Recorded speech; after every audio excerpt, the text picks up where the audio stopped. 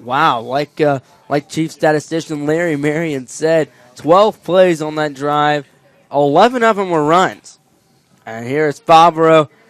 Kick out to about the five yard line, returnable by Carter Dunn. Dunn has it out to the 30, has plenty of space out past the 50. Dunn has a man to beat, and Dunn is going to take it to the house. And it is 7 to 6. Wow, talk about a turn of events.